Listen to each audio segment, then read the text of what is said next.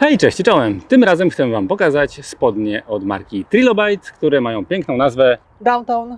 Także jeżeli jesteście zainteresowani jeansami motocyklowymi jednowarstwowymi z podwójnym A, to oglądacie dalej.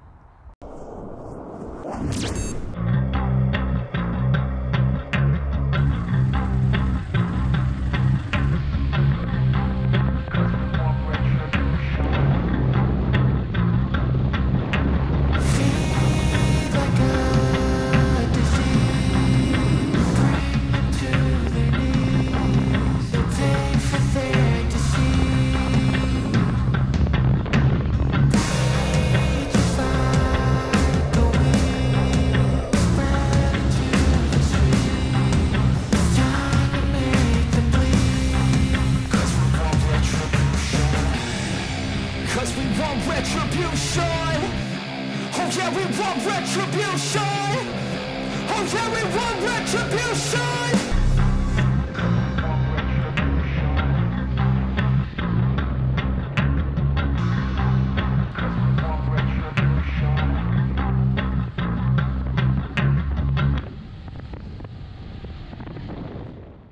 Ważną informacją jest dla Was to, że to jest film sponsorowany, a spodnie dostaliśmy w barterze. Nie będzie nam to absolutnie przeszkadzało w krytykowaniu tego produktu, w mówieniu o jego wadach, e, po prostu byciu sobą, tak? Bo Nikim innym nie będziemy. Tak. Będziemy tylko sobą. czy film jest płatny, czy niepłatny, robimy to w ten sam sposób, bez żadnych scenariuszy, bez żadnych narzuconych e, tematów, które mamy poruszyć, więc robimy to według własnego uznania, chwaląc, krytykując produkty, ale oczywiście my do naszych recenzji bierzemy produkty, w które wierzymy, tak? Jeżeli mamy wziąć produkt, który mamy zjechać od góry do dołu, no to nie ma to sensu, tak? Wiadomo, że chcemy Raczej Promować językiem, coś, tak, tak. językiem korzyści mówić. co się, tak. wa- co się Wam sprawdzi i mówić właśnie bardziej językiem korzyści. Także pomimo tego, że jest to e, film sponsorowany, na pewno usłyszycie o kilku wadach tych spodni, więc oglądajcie. Nie ma róży bez kolców. To je lecimy. Co jest takiego super w tych jeansach, to jest to, że są jednowarstwowe, Tak nie jest. mają kevlaru i mają podwójne A. A co za tym idzie? Że dlaczego tak fajne jest posiadanie spodni jednowarstwowych, które nie posiadają koca kevlarowego? Bo przede wszystkim mamy jedną, jednorodną tkaninę, która nie ma w sobie ciepłej podszewki, bo koc kevlarowy wbrew pozorom, pomimo tego, że jest bardzo bezpieczny i ma swoje wady i zalety, ale o tym też możemy długo rozmawiać, to w tych spodniach mamy tylko zewnętrzny materiał, który jest przewiewny i lekki. I w jego skład wchodzi dejnima, nylon, poliester, trochę bawełny i trochę elastanu. Jeżeli chodzi o denimę, to jeszcze takie didaskalia dla tych, którzy jeszcze nie wiedzą, czym jest denima. Tam jest taka nić, która nazywa się ucha MWPE, która aktualnie jest najbardziej wytrzymałą nicią, jaką można zastosować w tkaninie, która świetnie się sprawdza przy tarciu o asfalt na przykład. No i przewaga nad spodniami kevlarowymi, tak jak mamy te połacie materiału kevlarowe, które chronią oczy, e, określone części ciała, tak tutaj na całej e, długości, na całej szerokości spodni jakby jest ten sam stopień ochrony, tak? Tak, To tak. jest super. Nie ma słabszych i mocniejszych elementów. Jedyną drugą warstwą, która może się tutaj znaleźć w środku, to jest podszewka, która trzyma kieszenie na ochraniacze. Koniec, kropka. I No dzięki jeszcze te spodnie można prać, tak? Bo te z kevlarem nie bardzo, a tutaj nie ma żadnych przeciwwskazań. De facto Tak. zgodnie z instrukcją oczywiście. Obie można brać, tylko Kevlar będzie szybko tracił swoje właściwości, ale tak już tak, dla, dla tych, co potrzebują. Fantastyczny. Zaczniemy może od języka pozytywów, a na koniec zostawimy sobie tę łyżkę dziegciu. Dla mnie w tych spodniach, bo będziemy też mieli różne zdania, też musicie wiedzieć, że mamy różne opinie na tych spodniach. Dla mnie w tych spodniach fantastyczna jest ich właśnie jednorodność, przewiewność i lekkość. Ilość streczu dla mnie jest wystarczająca. Tu możemy aerobowe ćwiczenia możemy robić, a w tych spodniach mogę spokojnie na aerobik iść i, i nie będę się czuł z tym źle. Mogę w tych spodniach spędzić cały Boży dzień. Nic mi nie przeszkadza, nic mnie nie uwiera, nic mnie nie boli. Co do przewiewności, to nie są tak bardzo przewiewne spodnie, jak takie bawełniane typowo spodnie, które mają gdzieś tam tylko mie- miejscowo kevlar. Tutaj czuć jednak tą grubość tego materiału i to nie są, nie są tak fajne i lekkie spodnie, jak takie spodnie codzienne, więc na pewno właśnie to troszeczkę e, pod uwagę. Ja jestem chyba bardzo grubi skórny, grubo, gruboskórny, dla mnie jest to bardzo zbliżone doświadczenie. Tu bym dodał tylko, że jeżeli szukacie super przewiewnych spodni, takich najbardziej na świecie przewiewnych, to weźcie spodnie meszowe, bo nawet spodnie bawełniane nie będą tak przewiewne jak spodnie, które są utkane w ten sposób, że mają przestrzenie pomiędzy nićmi. Jeżeli chodzi o ilość stretchu, to jeżeli już założę te spodnie, w nich jestem, jest ona dla mnie wystarczająca. Y, y, Kiedy je zakładam, to chciałabym go więcej, tak? Bo trochę muszę się namęczyć, żeby na siebie wciągnąć. E, I wtedy na przykład długie paznokcie nie, nie pomagają tak podczas akurat tego. W mojej opinii ilość tego stretchu jest proporcjonalna do tego, jak bardzo one są skinny. Bo jak patrzycie na mnie teraz, to widzicie gościa w rurkach. To jest rzecz, której ja nie lubię. Generalnie na co dzień nie chodzę w rokach, ale jak sobie myślę o swoich skórzanych spodniach, których jeżdżę sobie na pitbikach albo trochę szybciej na jakichś torach, to one też są takie skinny, więc traktuję to w charakterze bieguna bezpieczeństwa. Jest to jakiś kierunek bezpieczeństwa, ale kiedy rzeczywiście je zakładam, to czuję, że ten stretch już pracuje. To jest cena bezpieczeństwa. Jeżeli stretchu byłoby więcej, byłoby go na tyle za dużo w mojej opinii, że ochraniacze przestały być stabilne, stałyby się spodnie trochę jak lajkrowe i zaczęłyby płynąć razem z nami, jakbyśmy, nie daj Boże, zetknęli się z asfaltem, więc każdy z nas Tak, ma dlatego mimo wszystko ja te spodnie wybrałam, bo jak już je założę, to ja czuję, czuję się w nich bezpiecznie. Tak, ten Cruise Slim sprawia, że ochraniacze są na swoim miejscu Skinny i nawet. tak, ochraniacze są zawsze na, na swoim miejscu i jest no, mniejsze ryzyko ich przesunięcia w momencie, kiedy gdzieś tam będziemy sobie trzeć o asfalt.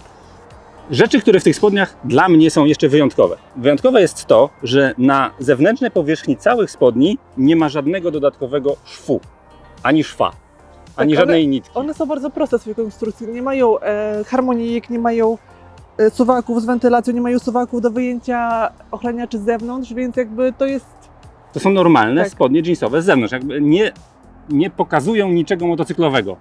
I bardzo trudno jest zrobić spodnie w ten sposób, ponieważ wszystkie te mocowania wewnętrzne, tych kieszeni, tych protektorów, tego całego ustrojstwa, które w środku trzyma tą konstrukcję, w ogóle nie wi- widoczne na zewnątrz. Jest tu użyta taśma klejąca, która skleja ten górny szef. Spotkaliśmy się z takim rozwiązaniem i ono nie wytrzymało próby czasu. Było oczywiście inaczej zrobione technologicznie, ale będziemy testować te spodnie na długim dystansie i myślę, że będziemy mogli Wam za jakiś czas powiedzieć, jak bardzo wytrzymało jest to klejenie. Wygląda dużo bardziej solidnie, ale jest to taki element, który nie zawsze się sprawdza, zwłaszcza w spodniach, które już mieliśmy, mieliśmy przypadek, że to ten element ustąpił. Tak, im mniej szwów, tym produkt jest bardziej bezpieczny, bo każdy szef osłabia konstrukcję. A tutaj te szwy, które mamy zewnętrzne, to są potrójne szwy, także też jest tak bez oszczędzania na, na nitkach.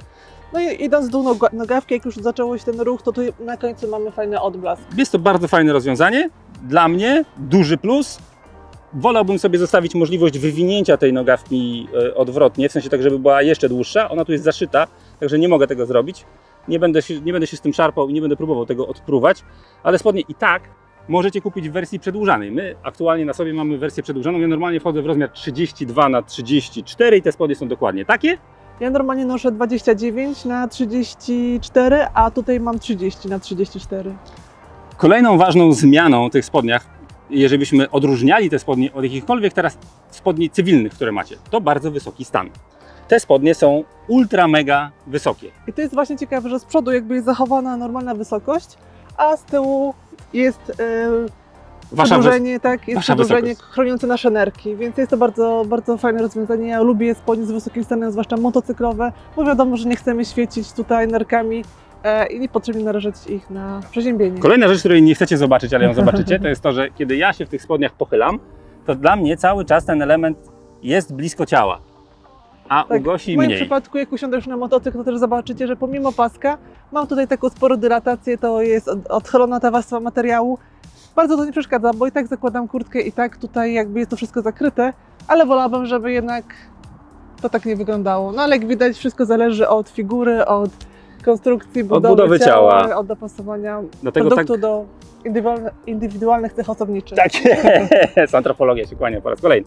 Moi drodzy, jeżeli chcecie wybrać te spodnie, dla mnie super ważne jest to, żebyście mieli szansę je przymierzyć. Ze względu na ten skinny krój, plus do tego ten dodatkowy y, płat materiału, który jest na wysokości nerek. Co jest fajne, to też jest właśnie kolor e, i to, że wyglądają one bardzo cywilnie, tak? E, zakładasz do nich marynarkę, idziesz do pracy, e, nikt nie widzi, że jesteś w ciuchach motocyklowych, jakieś fajne trampki do tego i naprawdę jest, wygląda to bardzo zacnie. Ale zanim przejdziemy do ochraniaczy, chciałem powiedzieć o jeszcze jednej fajnej rzeczy. Tu są takie dwie standardowe kieszenie. W jednej jest mikroport, w drugiej jest ręka. Ale jeżeli macie duży telefon i chcecie zejść z motocykla i skorzystać z dodatkowo większej kieszeni, to macie trzecią kieszeń z tyłu, która ma delikatną podszewkę, więc jakby trochę będzie grzało fubkę, ale mniej niż jakby to był koc kevlarowy. Ale możecie schować większy telefon. Mówię tu o przemieszczaniu się poza motocyklem, bo podczas jazdy motocyklem gorąco, gorąco odradzam włożenia telefonu w tej kieszeni i w ogóle w kieszeniach. Możemy chyba wejść do środka spodni powoli. Okej, Mówiłem o tych ochraniaczach, i o tej konstrukcji tej nogawki, która jest taka gładka. Spójrzcie, jak to jest zrobione w środku i zobaczcie to klejenie tego szwu, a zerknij, jakby dzięki temu te spodnie właśnie mają taki bardzo, bardzo czysty wygląd na zewnątrz. A wracając do ochraniaczy, o których powiedziałem, że będę mówił więcej, to rzeczywiście Trilobite poszedł w bank i zrobił ochraniacze, które są ultra cienkie, ultra miękkie, ultra wygodne, z materiału, które jest elastomerem, bardzo elastycznego, z ogromną ilością przewiewu, bo tutaj jakby właściwie widać świat przez ten ochraniacz, który jest montowany na rzepy. I oba są poziomu drugiego, zarówno biodro, jak i kolano. Mamy też kieszeń na ochraniacz kości ogonowej, ale certyfikatu tego ochraniacza jeszcze nie ma, więc jeżeli włożycie tam dowolny ochraniacz, który się będzie mieścił i będzie miał jakiś certyfikat, to i tak jesteście wygrani.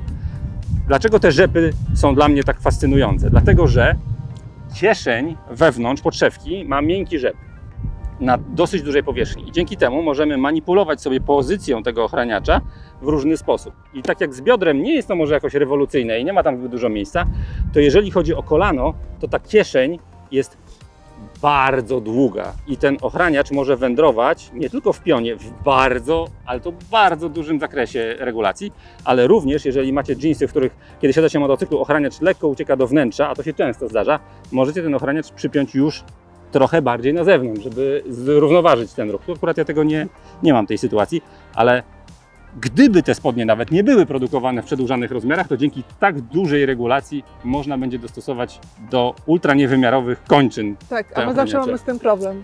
No dlatego Nasze gibon i żyrafa. tak. tak. Co jest jeszcze ważne, przy tych ochraniaczach one są bardzo wygodne. Ich się w ogóle nie odczuwa, tych na biodrach w ogóle nie czuje, nie uwierają, e, nie wciskają się w ciało.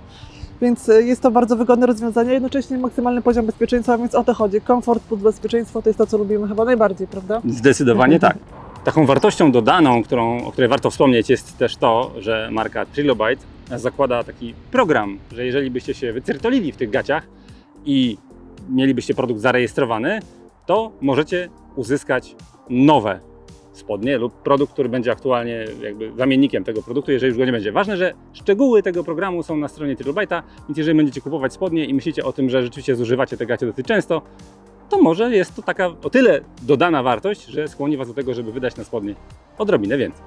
I myślę, że tutaj należy się nam taki moment podsumowania, bo rzeczą, która jest najbardziej irytująca dla mnie jako konsumenta jest to, że muszę wydać ponad 1000 zł na spodnie, które mają tylko podwójne A. W tej kwocie chciałbym bardzo już mieć spodnie potrójne, jakby z klasą potrójnego A. Dlaczego jakby to się nie wydarzyło? Y, Uważam, że każdy motocyklista powinien sobie zrobić taką oś, na której z jednej strony będzie komfort, Mhm. a z drugiej strony będzie bezpieczeństwo. I im bardziej będziemy się zbliżać do komfortu, tym bardziej jesteśmy narażeni na to, żeby jednak rezygnować z tego trzeciego A, ponieważ sama konstrukcja spodni plus materiały, które trzeba użyć do jego wytworzenia, jakby produkowania, będą już ten komfort ograniczać. Dlatego taka ilość stretchu, dlatego taki materiał i dlatego podwójne A. Sami musicie sobie odpowiedzieć na to pytanie, w którym miejscu jesteście i co jest dla Was istotne, żeby zdecydować się na zakup takich spodni. Też do końca się z Tobą nie zgodzę, bo możemy kupić na rynku spodnie z potrójnym A, które są naprawdę bardzo wygodne. I tutaj mówię o jeansach różnych Mhm. marek budżetowych i tutaj nie czuć tego, że one są wtedy bardziej sztywne, bardziej okraczają ruchy, że są bardziej niewygodne, ale też na pierwszy rzut oka widać tą jakość, tak, wykonanie. Jednakże jednak ta jakość mnie przekonuje, pomimo tego, że jest to podwójne A, a czasem jak widzę produkt tani, który ma potrójne A, a wygląda dosyć dyskusyjnie, no to jednak trochę bardziej wolałabym iść w coś, co jednak niby na papierku jest, ma trochę mniej, a jednak tak przy takim e, doświadczeniu pragmatycznym daje no, większe poczucie takiego bezpieczeństwa. Z drugiej strony, jakby zgadzam się, ale i wszystko, co jest przed ale, nie jest wiele warte, dlatego że spotkaliśmy rzeczywiście spodnie, które mają potrójne, a nawet mieliśmy je do testów i okazało się, że one próbę czasu znoszą trochę gorzej. W sensie rzeczywiście ja w nich się czuję trochę mniej komfortowo ze względu na mniejszą ilość stretchu, ale ponieważ krój jest szerszy, to komfort tego zakładania na pewno jest większy. No i to pęknięcie w miejscu klejenia jakby rzeczywiście się tam pojawiło. Zobaczymy, co historia opowie nam o tych spodniach, kiedy zrobimy więcej kilometrów, bo aktualnie mamy w nich przejechane, nie wiem, maksymalnie 500 kilometrów. I ta pogoda tak tych słonecznych dni powiedzmy nie jest jakoś super dużo, dlatego wiemy, że te spodnie są bardzo przewiewne. Tak. Więc e, też będzie druga recenzja tych spodni pod koniec właśnie sezonu. Już jak się najeździmy, zakończymy, powiemy, czy rzeczywiście przetrwały próbę czasu, czy się nic nie odpruło, nie odpadło w nich, e, jak się sprawdziły. Też podczas prania, tak jak już będziemy je użytkować normalnie, więc też będzie taka dogrywka. Już wtedy chyba nie sponsorowana, chyba że to Nie. załatwimy, nie? Słuchajcie, zawsze pod koniec sezonu staramy się opisywać te produkty, które wywarły na nas największe wrażenie, zarówno pozytywne, jak i negatywne. Także prawdopodobnie te spodnie pod koniec sezonu również będą brały udział w naszym podsumowaniu. Także oglądajcie nasz kanał. Jeżeli zainteresowaliśmy Was naszą treścią, to pamiętajcie, żeby nas zasubskrybować. Jeżeli lubicie wspierać firm, filmy e, lub treści, które mówią prawdę i nie korzystają z żadnych scenariuszy, niezależnie od tego, czy filmy są sponsorowane, czy nie, to oczywiście zachęcam Was do patronowania naszego kanału, bo dla nas jest to dodatkowa wartość dodana i dzięki temu możemy łatwiej negocjować jakby warunki kolejnych naszych filmów, bo wiemy, że jesteście z nami i dzięki Wam mamy zapewnioną jakiś poziom bezpieczeństwa i poziom tych negocjacji, który dla nas będzie dużo łatwiejszy. Tak, także Krzysztof Negocjator żegna Was tym optymistycznym akcentem. Dziękujemy za oglądanie, trzymajcie się i do następnego odcinka. Hej! Hej!